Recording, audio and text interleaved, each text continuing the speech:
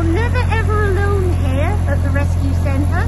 Day or night, whatever we're doing, there's always one or two animals that want to be part of it. I think Megan is certainly very, very interested in how the whole thing is working.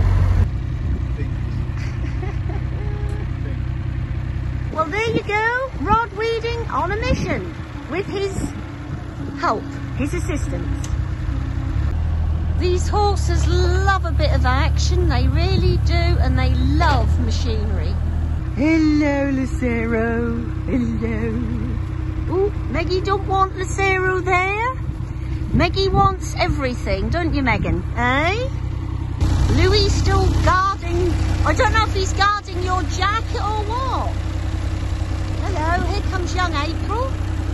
Young Zach is sort of standing back a little bit now. Hello.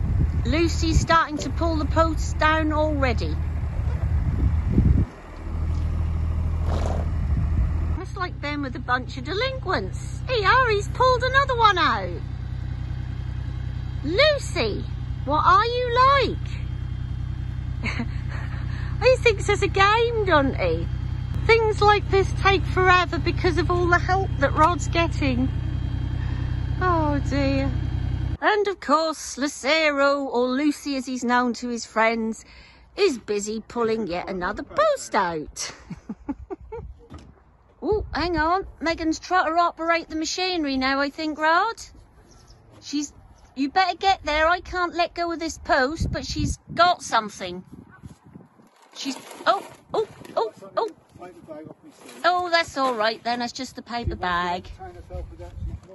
That's okay.